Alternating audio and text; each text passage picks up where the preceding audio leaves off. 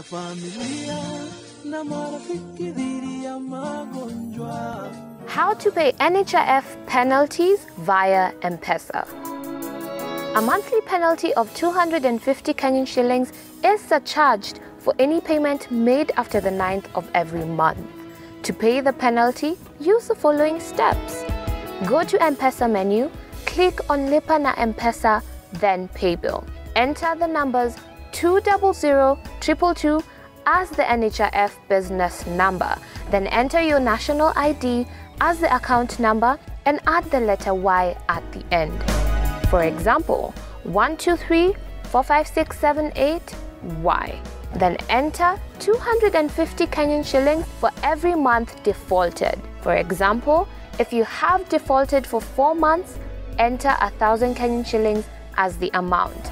Enter your M-Pesa PIN number and finally, you will receive a message confirming that you have successfully paid the penalty. Kindly note that the penalties are only surcharged to self-employed members.